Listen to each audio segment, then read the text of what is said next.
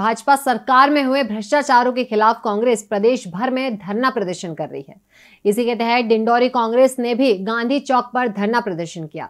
साथ ही राज्यपाल के नाम एसडीएम को ज्ञापन सौंपा। उज्जैन के महाकाल लोक में हुआ भ्रष्टाचार और सतपुड़ा भवन में लगी आग को 18 घंटे बाद भी ना बुझा पाने वाले मुद्दों को लेकर कांग्रेस ने धरना प्रदर्शन किया। कांग्रेस ने भाजपा सरकार पर आरोप लगाया कि भाजपा के ही शासनकाल में महँगाई दिन ब दिन बढ़ती जा रही है।